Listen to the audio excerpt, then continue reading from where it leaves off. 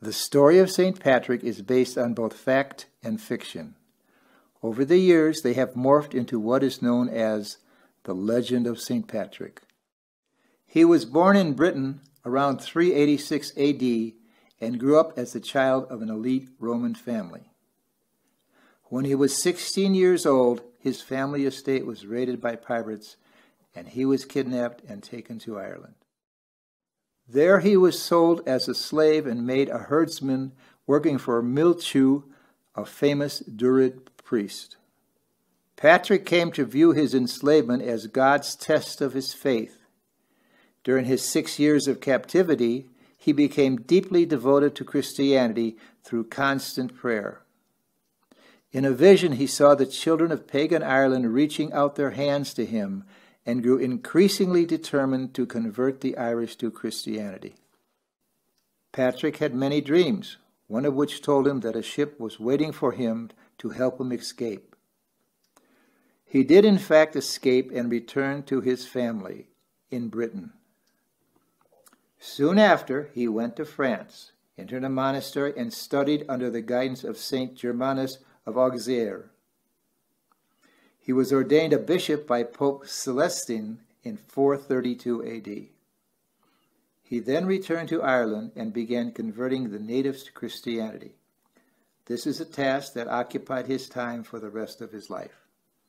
There are many stories of how Patrick did this. Most are related in the allegorical style.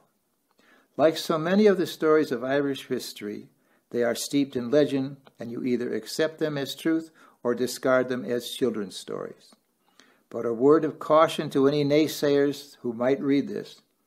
Tales passed down from generation to generation most always are based on something that actually happened.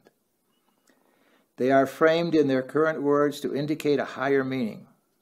For example, did St. Patrick actually cast the snakes out of Ireland, or were they symbolic of the devil and the pagan religions that were being practiced at the time?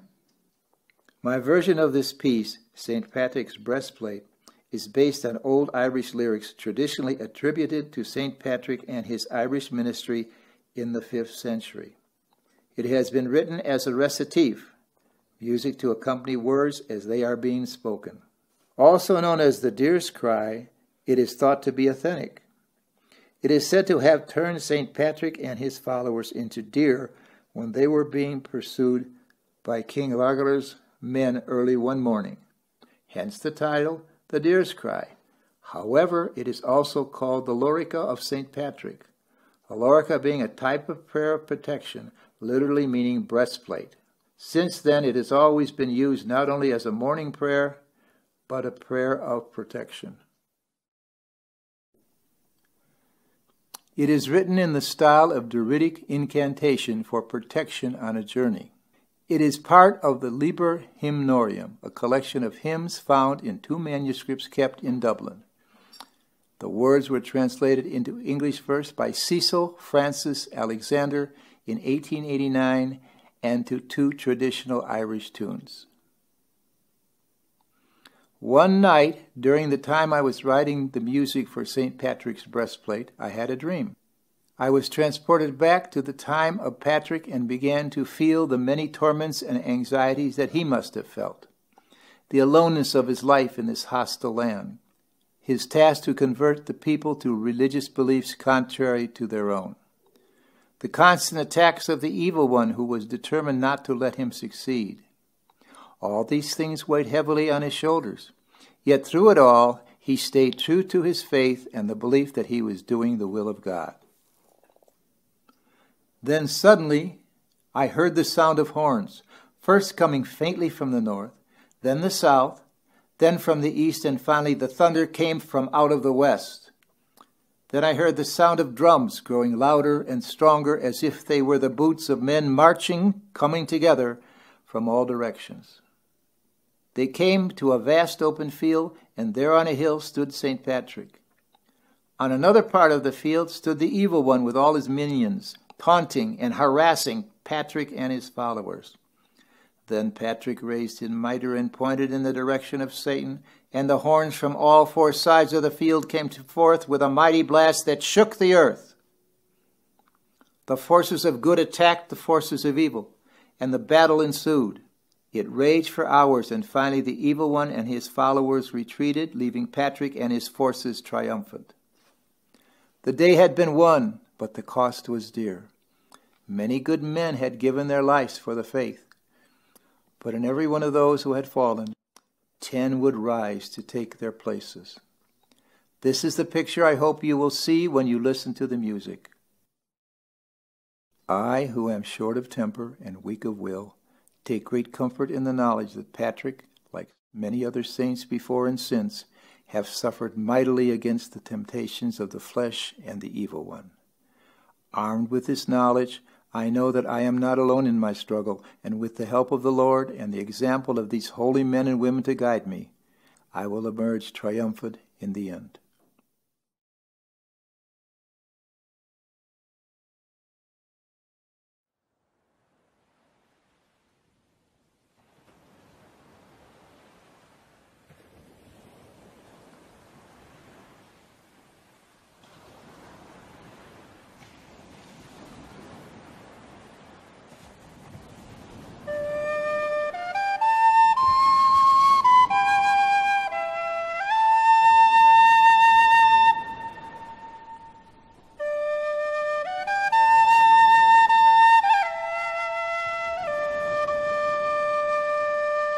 Arise today through the mighty strength, the invocation of the Trinity, through the belief in the threeness, through the confession of the oneness of the Creator of creation.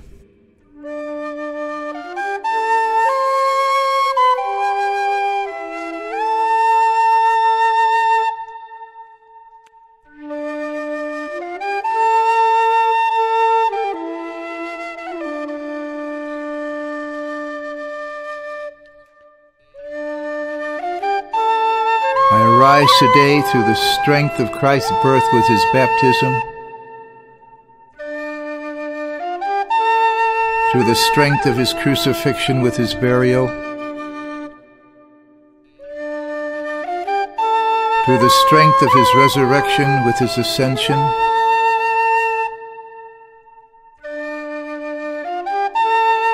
through the strength of his descent for the judgment of doom.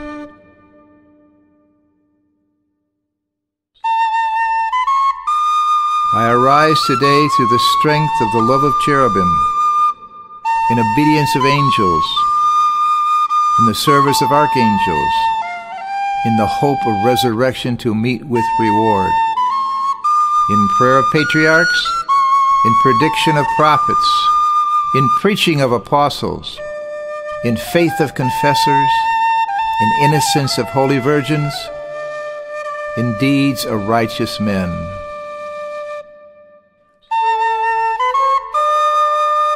I arise today through the strength of heaven, light of sun, radiance of moon, splendor of fire, speed of lightning, swiftness of wind, depth of sea, stability of earth, firmness of rock.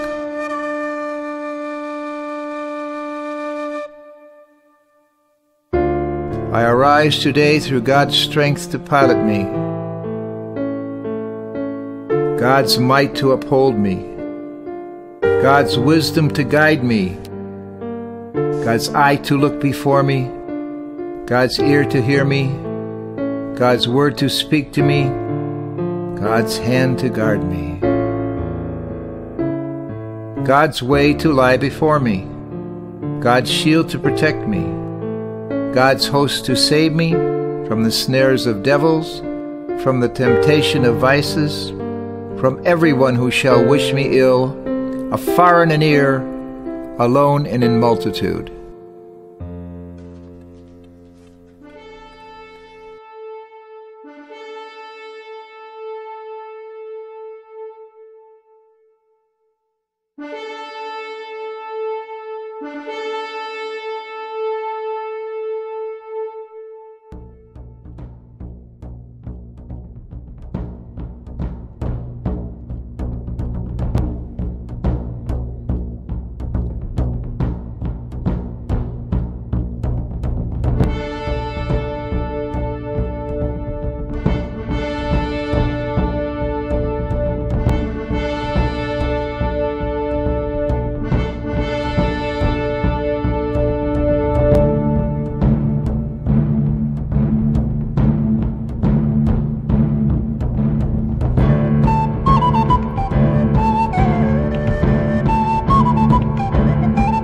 Summon today all these powers between me and those evils, against every cruel, merciless power that may oppose my body and soul, against incantations of false prophets, against black laws of paganism, against false laws of heretics, against idolatry, against spells of witches and smiths and wizards, against every knowledge that corrupts man, body and soul.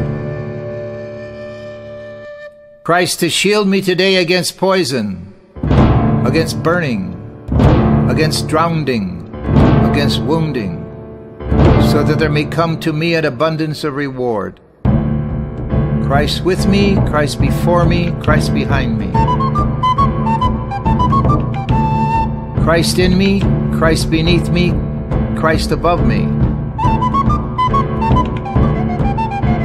Christ on my right, Christ on my left. Christ when I lie down, Christ when I sit down, Christ when I arise.